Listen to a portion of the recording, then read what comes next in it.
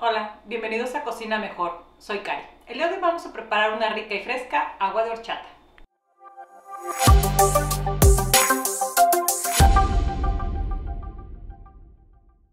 Los ingredientes para hacer nuestra agua serán arroz, canela en raja, extracto de vainilla, leche condensada, canela en polvo y agua.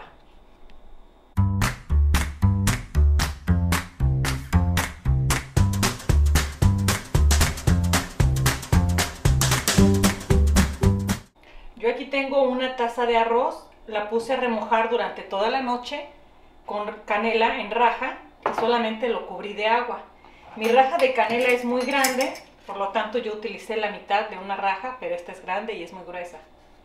Y ahora lo vamos a llevar a la licuadora. Estuvo toda la noche en el agua para suavizarlo.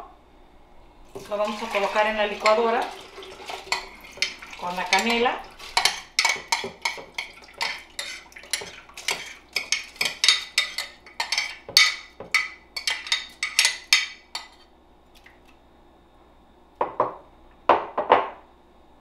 Le vamos a colocar la lechera Puedes utilizar también azúcar.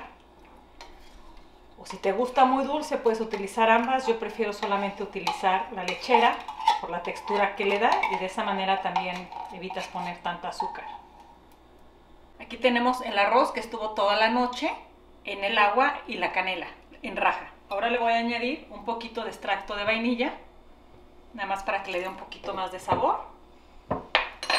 Y le voy a poner el agua para poderlo licuar.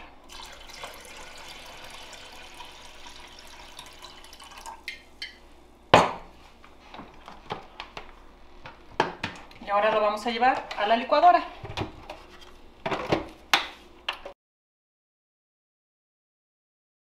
Ya que la tenemos licuada, la voy a pasar por un colador. Un colador finito está un poco mejor. Evita que se vayan un tanto los granitos del arroz. Lo vamos a colar.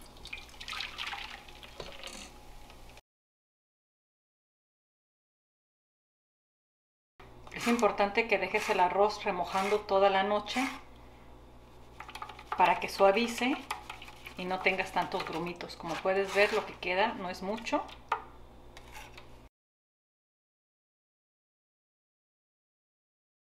Esta receta te rinde aproximadamente 6 tazas de agua de horchata y la canela en polvo la puedes poner al final para decorar. Este es el resultado final de nuestra rica y fresca agua de horchata. Suscríbete a nuestro canal para más recetas como esta. Si te gustó, regálame un like y comparte. Gracias por acompañarme. Hasta luego.